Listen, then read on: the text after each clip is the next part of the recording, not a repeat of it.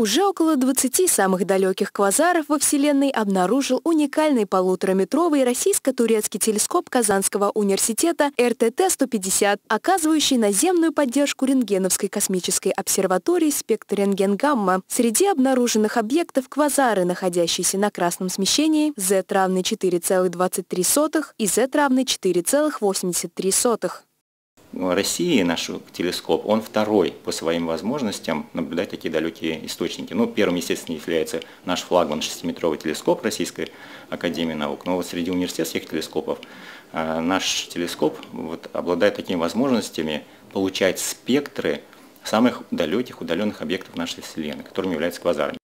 Квазары – это наша Вселенная, когда ее возраст был около 1 миллиарда, так называемое детство. Наблюдая такие источники, можно понять, какой была Вселенная, когда она только родилась и начала свою жизнь. Сейчас ее возраст почти 14 миллиардов лет. Понять, как проходила эволюция Вселенной – одна из главных задач обсерватории «Спектр РГ». С участием почетного профессора Казанского университета академика Рашида Сюняева и профессора-консультанта вуза Марата Гельфанова в 2020 году построена первая рентгеновская карта неба, собравшая в себе около миллиона источников.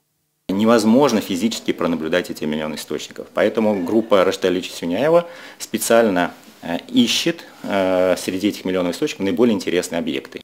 Список этих объектов передается сотрудникам Казанского университета, которые уже более детально распознают объект и его физические параметры, наблюдая эти источники в оптическом диапазоне с помощью телескопа РТТ-150. Важно, что о самых свежих результатах этих исследований сразу же рассказывается на лекциях студентам-астрономам Казанского университета. Так какой же была молодая Вселенная? Чтобы понять это, необходимо дождаться построения обсерватории полной, детальной карты неба, состоящей из восьми сканов.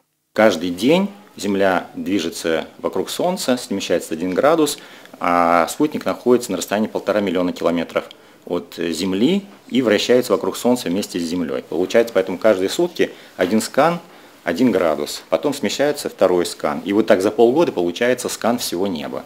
Вот сейчас уже обсерватория СРГ сделала полтора скана. Один полный скан, и еще вот сейчас заканчивается второй скан.